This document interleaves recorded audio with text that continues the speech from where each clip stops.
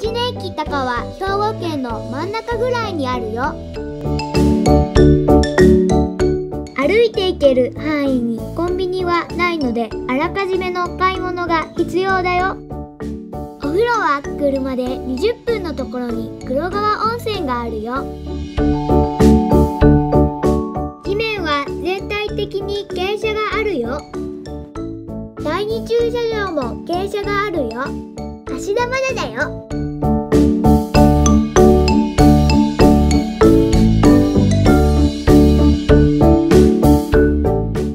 遊びができる川があるよ。トイレは綺麗でウォシュレット付きだよ。激安のキャンプ場が隣にあるよ。フリー Wi-Fi もあるよ。